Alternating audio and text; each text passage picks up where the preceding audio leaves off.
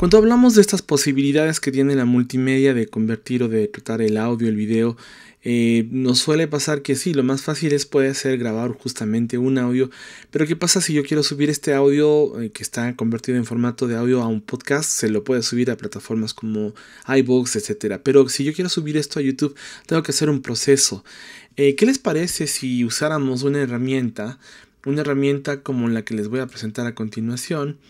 Esta es una herramienta que se llama Shotcut, es un editor de video gratuito Aquí he colocado dos pistas de audio y voy a, arrastrar un audio directamente desde mi computadora. Arrastro el audio hasta esta zona que dice lista de reproducción. A esta lista de reproducción la dejo en este canal superior. Y acá debajo voy a colocar un color en esa pista de abajo. El audio por sí ya si lo renderizo así, digamos si lo, trans, si lo edit, si lo proceso para que se haga video puede hacerse, pero va a sumar una caja negra. Pero una caja negra no tiene mucho sentido. Vamos a añadir entonces un poco de color. Voy a colocar aquí donde dice añadir otro, pongo color. Voy a seleccionar no transparente, sino un color rosado, por ejemplo.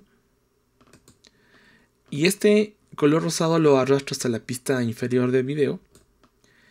Y si ustedes se dan cuenta, entonces ya el video de lo que estaba en negro, el audio, sospecho que se habrían se transformado en color eh, en colores.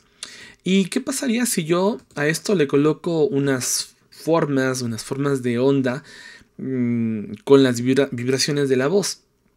Sobre esta pista de eh, la B2, la, pista donde está el audio, voy a colocar un filtro. Este filtro voy a ponerle aquí en el buscador, pongo ondas. Y esta que dice visualización de forma de audio. Ah, yo puedo entonces colocar aquí el, la forma de onda de audio y veamos qué es lo que pasa si yo le doy play. Ya no oigo mis voces. De modo que ando un poco perdido.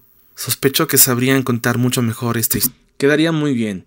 Si ustedes desean saber más sobre este, esta herramienta de Shotcut, no se pierdan más información en el canal de YouTube donde dejo este video.